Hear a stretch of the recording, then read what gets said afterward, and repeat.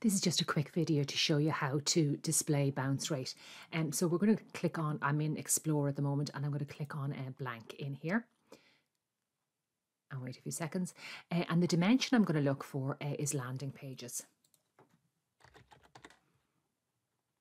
Uh, and I'm going to select that uh, and then I'll click on import. Uh, and I'll just double click it uh, and it'll go in under rows. Uh, and the metric then I'm going to look for, I might look for, for example, sessions.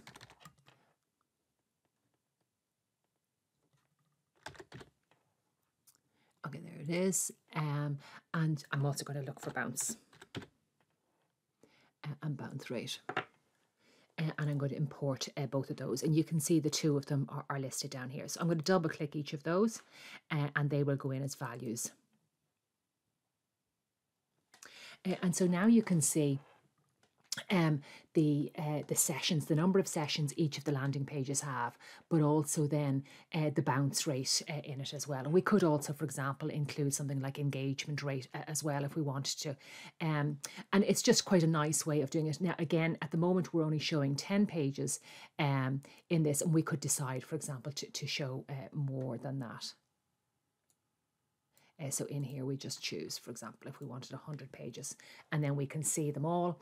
Um, and you can see that there's uh, there's different bounce rates, and we can then sort, uh, for example, by bounce rate.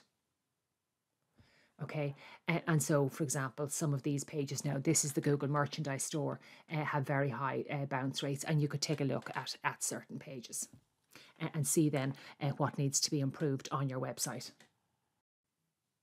We could also uh, use this report and change it over to look um, at the bounce rates of particular sources of traffic.